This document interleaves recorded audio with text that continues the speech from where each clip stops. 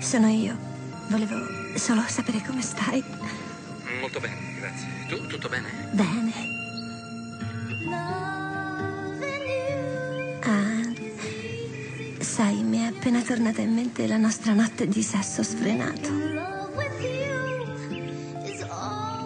E tu hai un sedere assolutamente stupendo. Bene, beh. Grazie, ma sai, sono con l'ambasciatore messicano in questo momento. E tu sei in viva voce. Oh, bene.